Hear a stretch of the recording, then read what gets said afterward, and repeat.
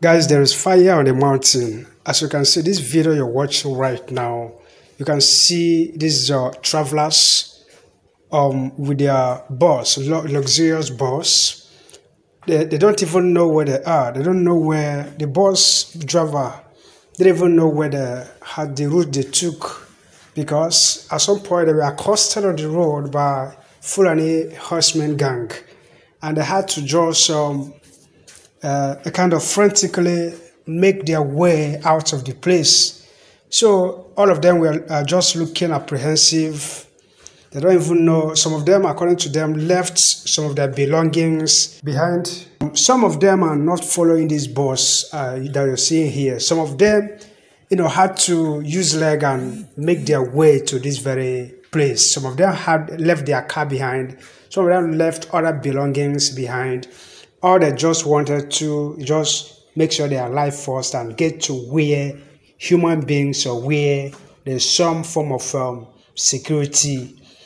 So that is what we are suffering in Nigeria. That is what Nigeria is all about. That is what the country has become, and nobody is talking about it. Everybody is focusing on 2023 Nobody is asking some pertinent question. Is there going to be 20, I mean, is there going to be a Nigeria in 2023 to, for somebody to rule? I mean, all those things. Uh, I don't know what this country is turning into, honestly.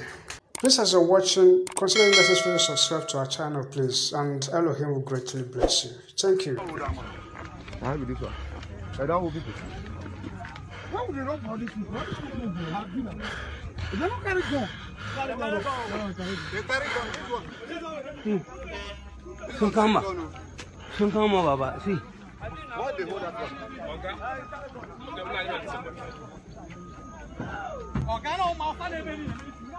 Oh man, for this kind of road, no no security. Na Fulani now. Fulani has men, no.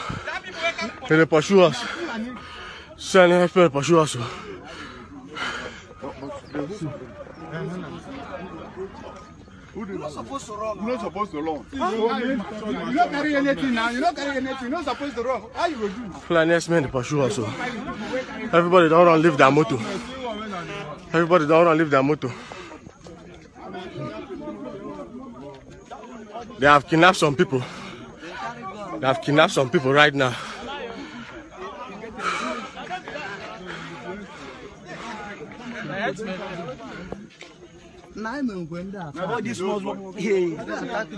We have kidnapped some people. They are taking them inside the bush.